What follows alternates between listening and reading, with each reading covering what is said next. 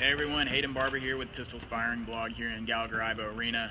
Cowboys are coming off a crazy couple of weeks. Bedlam victory, victory in, in West Virginia against uh, the Mountaineers, and now you get rewarded with Baylor. Uh, Baylor's coming off a, a, home loss, and OSU obviously is flying high. And here's what Brad Underwood and players had to say about everything that's going on here. Uh, it was an interesting week from the standpoint that uh, two drastically different games. One that we shot the ball very poorly and at uh, at OU, and then one that we shot the ball extremely well at um, in Morgantown. Uh, key to that game, I thought we got off to a great start. And when you play uh, a team that presses like Hugs, they have tremendous um, spurtability, so to speak and uh, we had to get the lead, so we were able to withstand uh, those those spurts when they came, and and then we were able to, to really limit them. Uh, it's funny we had 19 turnovers in the first game with West Virginia. We had 19 in this one, but the press didn't impact uh, the game like it did in the first one, and. Uh, you know, I thought a big key in both games, being drastically different, was the rebounding.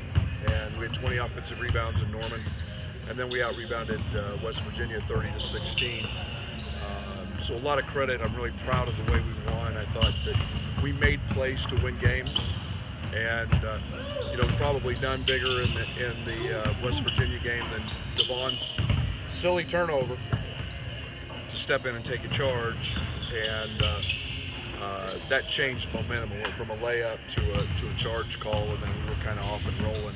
We've been doing a lot of good things these last um, couple, you know, five games. Um, just me bringing, you know, the energy off the bench, things like that. And, you know, just having coaching, listening, you know, everything you tell me, it's been helping me out a lot, you know, on and off the court. It feels good, but at the same time, you got to stay humble. You know, still got six weeks left in the season. Um, uh, you know, it's always good to for personal achievements. Um, but right now it's all about the team. Yeah, I'm really happy for him. I mean, he, you know, he had the concussion and missed a, a big chunk of, uh, of, of, Big 12 play there early in the first go around, and uh, uh, you know, I've said it many times. He's our most versatile player. He's a terrific shooter.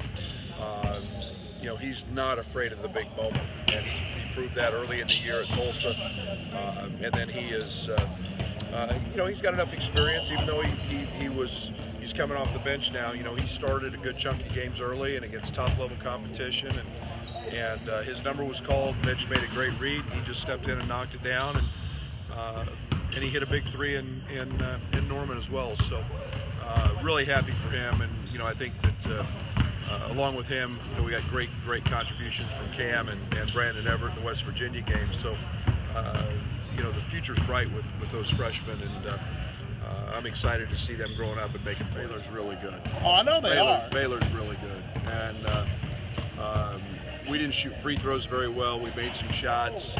Um, we didn't do a very good job defensively at all in that game. Um, I think that's something that we've got to uh, uh, we've got to clean up.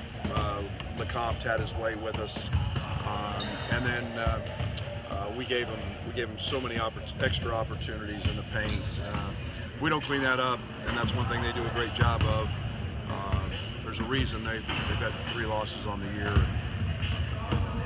We, we've got to, we've got to play better than we did in the first game because we sure won't play good. That's all from Gallagher Arena with Pistols Firing Blog. I'm Hayden Barber.